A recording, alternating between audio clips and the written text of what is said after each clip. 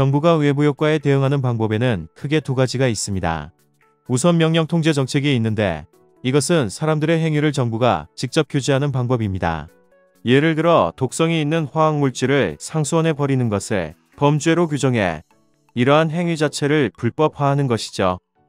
그러나 대부분의 오염 문제에 대한 해결은 간단하지가 않습니다. 오염을 유발하는 행위를 전부 금지하는 것은 현실적으로 불가능하기 때문입니다. 조랑말을 포함해서 거의 모든 교통수단은 어떤 형태로든 오염을 발생시킵니다. 그렇다고 해서 모든 교통수단을 금지할 수는 없습니다. 정부의 환경 규제에는 여러 가지 형태가 있습니다. 오염물질의 최고 배출 허용량을 결정하기도 하고 배출량을 줄이기 위한 정화 기술을 의무화할 수도 있죠.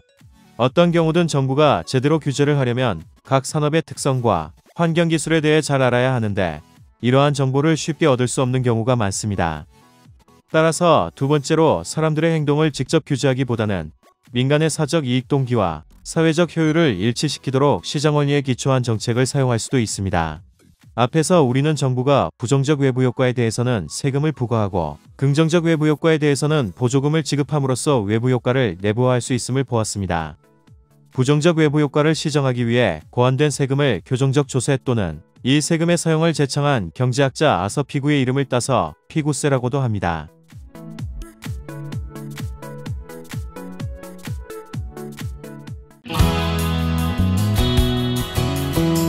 만화로 보는 맹크의 경제학 7권 세트. 1권. 경제학의 10대 기본 원리. 2권. 시장의 작동 원리. 3권. 기업의 행동 원리. 4권. 소득 분배의 기본 원리와 경제학의 새로운 분야. 5권. 국민 경제의 기본 원리. 6권.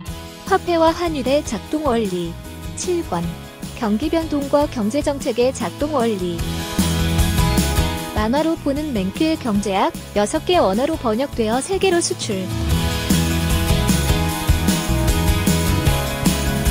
한국을 넘어 세계인들이 경제학을 즐깁니다.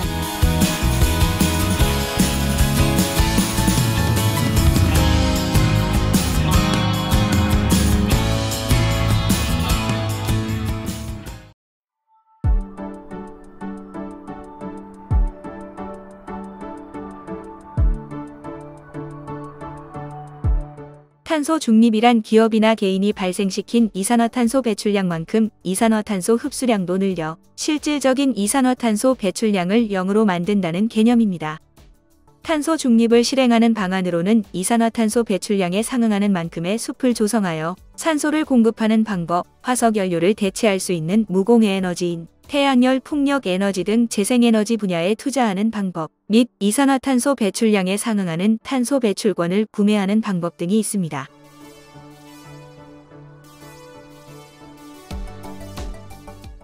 탄소국 경세란 이산화탄소 배출 규제가 느슨한 국가가 강한 국가에 상품 서비스를 수출할 때 적용받는 무역 관세입니다.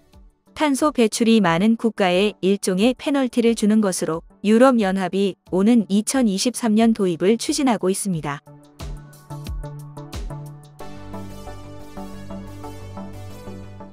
그린워싱은 기업들이 실제로는 친환경적 경영을 하지 않지만 이를 표방하는 것처럼 브랜드 이미지를 만드는 것을 의미합니다.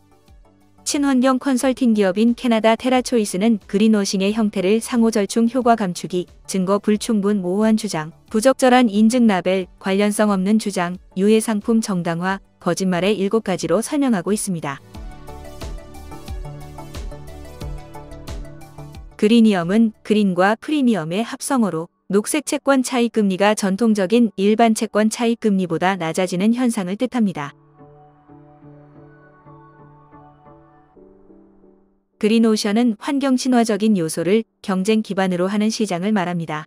경쟁 포화 상태의 시장이 레드오션 경쟁이 치열한 레드오션에서 벗어나 새로운 시장을 개척하는 것이 블루오션이라면 그린오션은 친환경의 핵심 가치를 둔 신경영 패러다임입니다.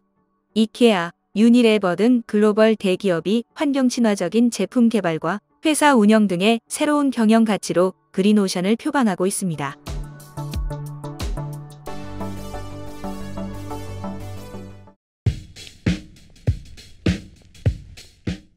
선물하기 좋은 책 만화로 보는 맨큐의 경제학 7권 세트. 만화로 보는 맨큐의 경제학 7권 세트로 경제인싸 되기. 만화로 보는 맨큐의 경제학이 제안하는 더욱 쉽고 재미있는 공부 방법.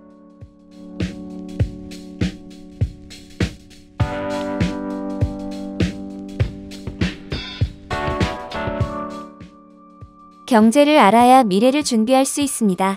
선물하기 좋은 책, 만화로 보는 맨큐의 경제학 7권 세트.